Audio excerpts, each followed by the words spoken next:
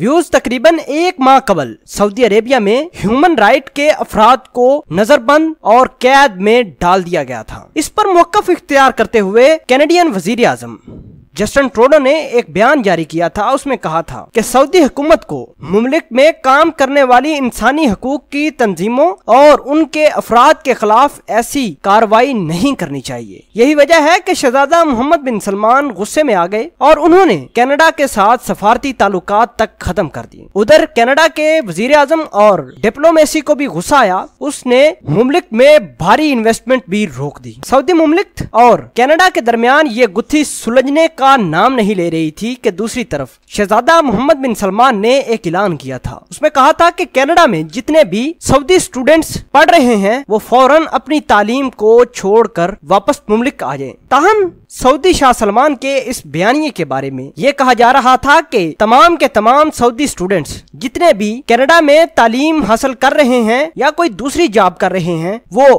اپنا تمام تر کاروبار چھوڑ کر مملک واپس آ جائیں گے۔ ایسا خیال پہلے پہل کیا جا رہا تھا۔ لیکن شہزادہ محمد بن سلمان کے اس حکم نامے پر اسٹوڈنٹس نے کیا رویہ اختیار کیا جس کو شہزادہ محمد بن سلمان کی مشکلات میں اور بھی اضافہ ہو جائے گا۔ ویڈیو جاننے سے پہلے ہم آپ سے گزارش کرتے ہیں کہ آپ ہمارے اس چینل حسنا ٹی وی کو سبسکرائب کر لیں تاکہ آنے والی ہر لیٹسٹ ویڈیو سے آپ باخبر رہیں۔ درجنوں سعودی طالب علموں نے کینیڈا میں سیاسی پناہ کی درخواست درخواستیں جمع کروا دی ویوز آپ کو پھر ایک مرتبہ بتائیں کہ سعودی عرب اور کینیڈا کے مبین تنازع اور سفارتی تعلقات کی معطلی کے بعد سعودی عرب نے وہاں سے اپنے طالب علموں کو واپس آنے کے لیے اکتیس اگست کی ڈیڈ لائن تھی تھی جو کہ ختم ہو چکی ہے۔ لیکن تاحال درجنوں سعودی طالب علم کینیڈا میں ہی موجود ہیں اور ان میں سے اکثر نے وہاں سیاسی پناہ کے لیے درخواست بھی دے دی ہے۔ کینیڈا میں مقیم سعودی فلاح کارکن عمر عبد العزیز کا کہنا تھا کہ سعودی حکومت نے طالب علموں کو واپس آنے کا حکم دیا تھا تاہم۔ تاہم، طالب علموں نے کینیڈا میں ہی رہنا اور اپنی تعلیم مکمل کرنا چاہتے ہیں۔ سعودی طالب علم اپنے کریڈٹس نہیں کھونا چاہتے۔ وہ یہاں تعلیم حاصل کر رہے ہیں۔ اور ساتھ ہی کام بھی کر رہے ہیں۔ چنانچہ وہ واپس جانے کی بجائے